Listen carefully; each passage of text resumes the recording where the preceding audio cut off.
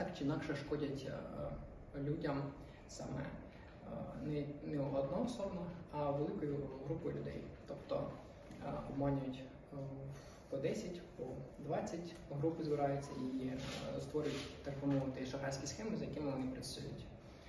Найпоширенішими шахрайськими схемами наразі є саме спекуляція на темі продажу авто для Збройних сил України, дрової амуніції для Збройних сил України- е, а також інших комплектуючих для засобів е, життєдіяльності і ураження наших сил оборони.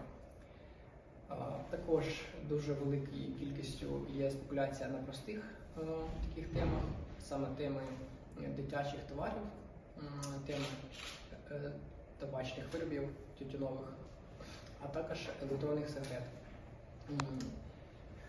В принципі,